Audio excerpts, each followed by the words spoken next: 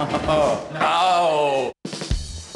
That looks great, Jared. That's awesome. The color is perfect against the blue. Isn't it? Do you guys like the whiter planks? I do, Yes. I do. Me too. I think the whiter plank really adds a sort of a grandeur to the room and makes it feel Yeah. even more rustic. So this is the base molding you picked out. That's awesome. Oh, that's that looks real nice. The thing that Chris and Robin had in your inspiration is very similar. The wood floors, the white molding. It's just a little different in your space. We want a little darker than Chris and Robin.